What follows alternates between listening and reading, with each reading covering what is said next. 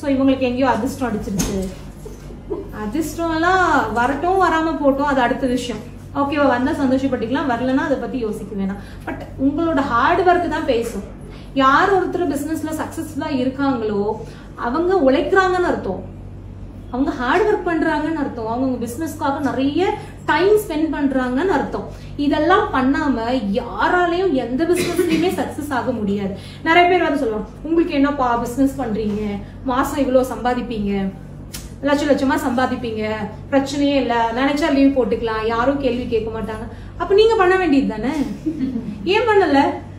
எவ்வளவு ஈஸி ரொம்ப ஜாலியா இருக்கும். நிறைய சம்பாதிக்கலாம். சம்பாதிச்சுக்கிட்டே இருக்கலாம். அப்பயும் நீங்க பிசினஸ் பண்ணல. ஏன்னா அவங்க அந்த ரிஸ்க் எடுக்கிறதுக்கு ரெடியா இல்லை.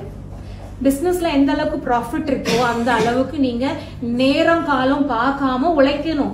ஒரு இடத்துக்கு ஒர்க் போறோம் அப்படின்னா டைம் இருக்கு. காலையில பத்து மணினா பத்து டு ஆறா? பத்து டு ஆறு நம்ம ஒர்க் பண்ணா போதும்.